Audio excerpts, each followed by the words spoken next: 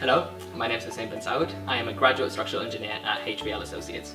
I am also a member of the ICE Graduates and Students Committee. What I'm going to be talking about is the Maureen platform, which is an oil rig platform previously situated in the northeast of Aberdeen in the North Sea. And the purpose of the platform was to extract the oil that was found to be uh, positioned deep within the sea. Now, traditionally, the way to go about this is to construct um, a platform above the field that is then permanent. So engineers had to sort of sit back a bit and have a think about how can we reduce this knock-on effect on the environment by somehow being able to reuse the platform that we construct.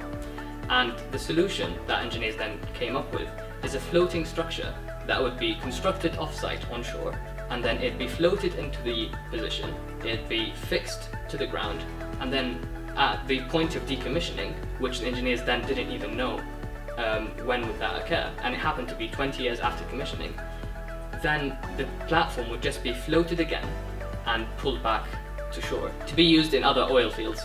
And this solution was deeply innovative in the sense that engineers weren't just thinking about the, the design and um, and usage of the structure, but rather they were they were thinking so far ahead into the decommissioning of the structure.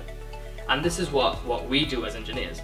Now, positioning the platform and refloating the platform back was a particular challenge in this case because this was no ordinary platform.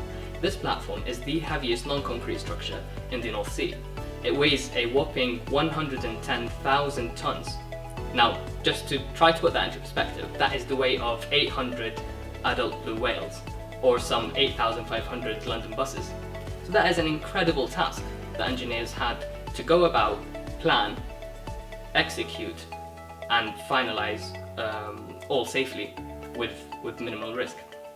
And that really is the sort of challenge that draws me into engineering. What, what we do on a day-to-day -day life is solve problems. That is by definition what we do as engineers. And I, I, I really love that part of my job.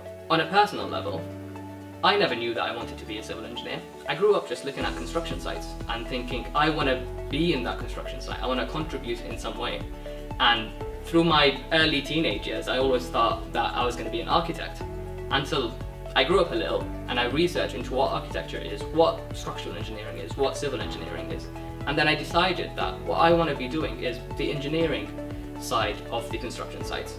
And to this point, um, I have I have finalized um, my bachelor's degree, I have started working um, for HBL, and I have found it absolutely amazing. Um, I am now doing um, an MSc um, in structural engineering while I'm while working with HBL, and to me, every day introduces a different problem that then needs to be solved. So we come together as a team, and then we try to think of a solution, and then we do the design work, and then we try to satisfy the client as much as we can.